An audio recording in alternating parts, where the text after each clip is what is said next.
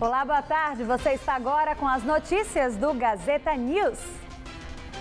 Um incêndio destrói neste momento barracos de uma favela na zona leste de São Paulo. Pelo menos 20 equipes dos bombeiros estão no local tentando controlar as chamas. O fogo atingiu cerca de 70 dos 100 barracos da favela, que fica na rua Aricati, na Penha, na Zona Leste. A informação é que uma pessoa foi levada ao hospital com intoxicação e sem queimaduras. Ela permanece em observação. Ainda não se sabe o que teria provocado o fogo. E deve terminar hoje a última etapa do julgamento do massacre do Carandiru. A repórter Carla Rodeiro está no Fórum da Barra Funda e tem os detalhes. O corpo de jurados, formado por seis homens e uma mulher, ainda está reunido para decidir se os 15 PMs são culpados ou não. A pena máxima prevista é de prevista e provável é de 48 anos para cada réu pela morte de quatro presos. Bem, a decisão de hoje encerra o julgamento que começou há um ano e foi dividido em quatro etapas por causa da grande quantidade de vítimas. 111 presos foram mortos depois que a PM invadiu o Carandiru durante uma, uma rebelião em 1992. Bem, então nas três etapas anteriores, 50 48 PMs foram condenados por 73 mortes. E para 25 deles, a pena individual aplicada foi de 624 anos de cadeia. Mariana. Ok, Carla, muito obrigada pelas informações. E entrou hoje no terceiro dia a greve das empresas de limpeza urbana do ABC Paulista. Ontem, em Assembleia no Tribunal Regional do Trabalho, as empresas mantiveram a proposta de aumento salarial de 10% mas os varredores e coletores pedem 15% de aumento. Cerca de 40% dos 3 mil trabalhadores do ABC estão em greve. Além do lixo espalhado pelas ruas, o aterro Lara, em Mauá, para onde eram levados os resíduos sólidos da região, foi fechado. A estratégia adotada por São Caetano foi improvisar uma espécie de lixão em um terreno abandonado onde funcionavam as indústrias Matarazzo. E a polícia está mais perto de solucionar um crime chocante em São Paulo. Familiares de um homem desaparecido desde o mês passado disseram ter reconhecido a cabeça encontrada há quase uma semana na Praça da Sé, na região central da cidade. A cabeça faz parte do corpo que foi encontrado esquartejado dentro de sacolas de plástico em três pontos de Higienópolis há 10 dias. No entanto, a polícia disse que a confirmação de que a cabeça realmente pertence ao homem desaparecido depende de um exame de DNA que será feito através de amostras de material genético colhido dos parentes. O resultado deve ficar pronto em 20 dias. Ainda não se tem informações sobre quem teria praticado o crime, mas imagens de câmeras de segurança que estão sendo sendo analisadas pela polícia mostram um homem de bermuda, moletom e carregando um carrinho de feira, onde estariam os sacos plásticos com as partes do corpo. E o Corpo de Bombeiros aponta que o estádio do Itaqueirão, palco de abertura da Copa do Mundo, ainda não se adequou à legislação de segurança e não possui auto de vistoria. Segundo os bombeiros, o projeto técnico da Arena apresenta 26 irregularidades. Entre elas, o documento não aponta a lotação exata do estádio, nem um plano de como as pessoas podem sair em caso de emergência. O Clube Corinthians e a empresa responsável pela construção, a Odebrecht, afirmaram que as falhas serão resolvidas. Parte das obras foi interditada pelo Ministério do Trabalho nesta semana, após a morte de um operário que trabalhava no local no último sábado. Ele caiu de uma altura de cerca de 8 metros. A polícia investiga a ocorrência, a terceira morte no estádio desde novembro do ano passado. Enquanto isso, as atividades nesta área da construção ficam paralisadas, o que pode atrasar a entrega da arena prevista para 15 de abril. E o governador Geraldo Alckmin autorizou hoje o início do chamado bico oficial de policiais militares no estado. Serão mil PMs a mais por dia nas ruas da região metropolitana, da Baixada Santista e de Campinas. Na capital, os policiais irão atuar em locais mais vulneráveis à violência, como o Ladeirão do Morumbi e bairros da Zona Leste. Os policiais poderão trabalhar no máximo 8 horas por dia, fora da jornada normal, e por até 10 dias no mês, o que equivale a 80 horas.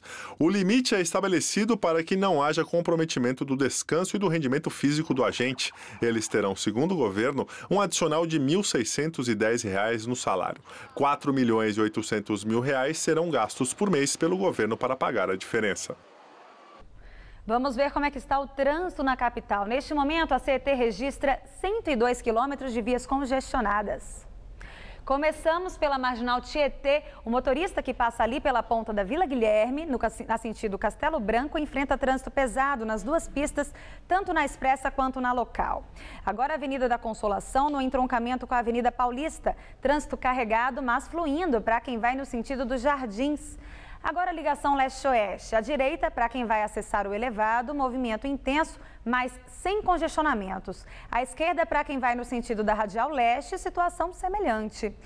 Agora na Radial Leste, à direita trânsito ruim no sentido bairro e à esquerda no sentido centro, situação um pouco melhor neste momento. E na Avenida Aricanduva, movimento bem tranquilo, portanto uma boa opção para quem está na Zona Leste. Essa câmera aí mostra o movimento próximo ao Parque do Carmo.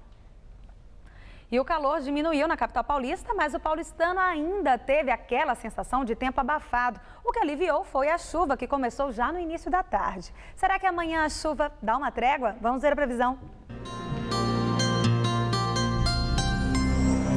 Amanhã as temperaturas ficam amenas, bem típicas de outono aqui na capital. Apesar do dia ficar mais nublado, não deve chover. O sol brilha forte entre poucas nuvens na maior parte do estado. No centro-oeste paulista, o ar seco ganha força e deixa o tempo firme.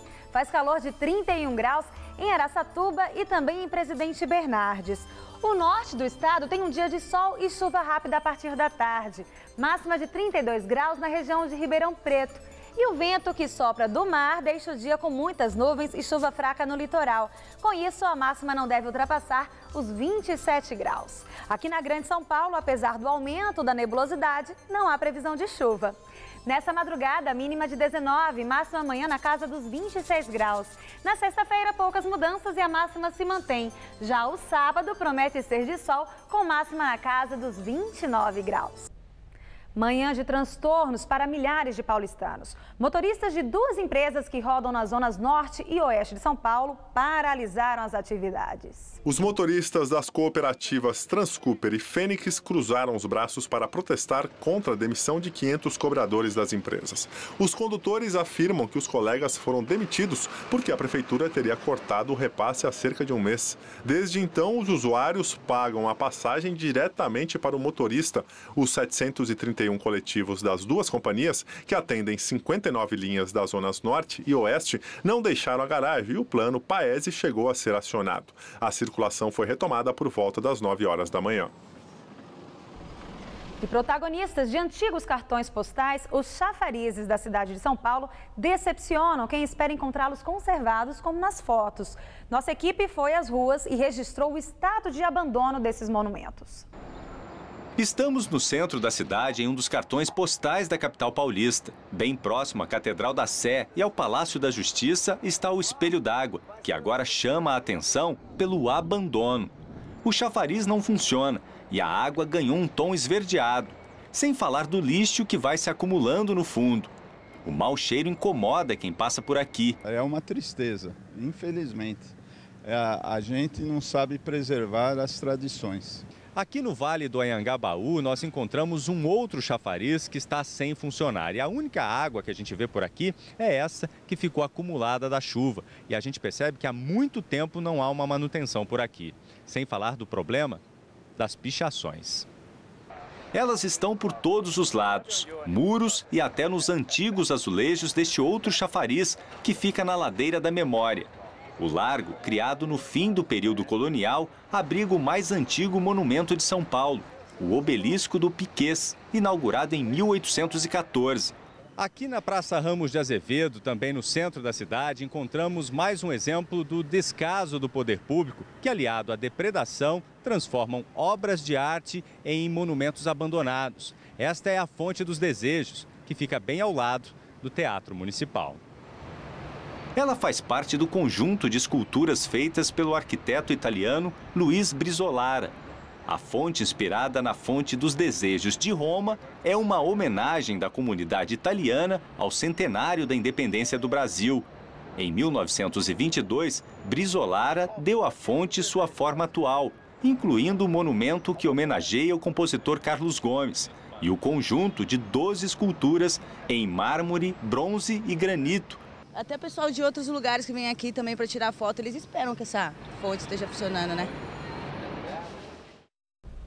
O metrô, responsável pela conservação do espelho d'água da Praça da Sé, informou que a última troca de água, agendada para janeiro, foi adiada em razão da falta de chuvas. E uma das bombas do chafariz está em manutenção. Já a Secretaria de Cultura da capital, que responde pelos demais chafarizes, foi questionada sobre a manutenção dos monumentos, mas não enviou resposta.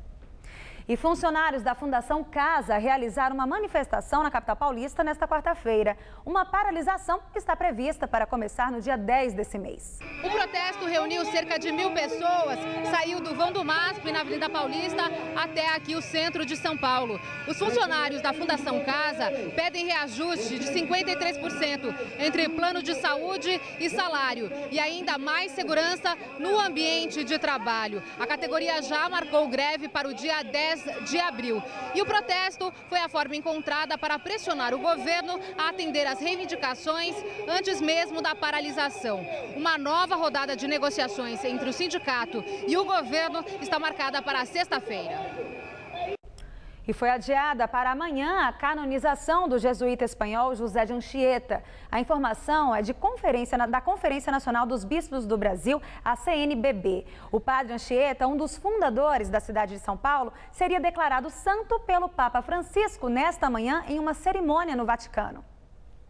Membro da Companhia de Jesus, congregação religiosa fundada no século XVI e da qual o Papa Francisco também faz parte, o espanhol José de Anchieta foi beatificado pelo Papa João Paulo II em 1980, na primeira etapa antes de se tornar santo. Para ser canonizado é necessário que o Vaticano reconheça dois milagres, mas no caso de Anchieta, a santificação se dará por seu trabalho missionário feito no Brasil, principalmente na catequização dos índios no período da colonização além da fundação de missões jesuítas em diversas províncias do país. Com a canonização, Anchieta se torna o terceiro santo a ter laços estreitos com o Brasil. A primeira foi a ítalo-brasileira Madre Paulina, santa desde 2002. Em seguida, Frei Galvão, brasileiro nascido em Guaratinguetá, proclamado Santo Antônio de Santana Galvão no ano de 2007. E a programação em comemoração à canonização de José de Anchieta foi mantida. Logo mais às 6 horas haverá uma missa na Catedral da Sé. Outra está marcada para 7 e meia no pátio do colégio. No domingo, uma procissão pelas ruas da capital deve encerrar as festividades. E o Gazeta News de hoje termina aqui. Novas notícias logo mais às 7 da noite no Jornal da Gazeta e no Jornal da Gazeta, edição das 10. Fique agora com Gazeta Esportiva.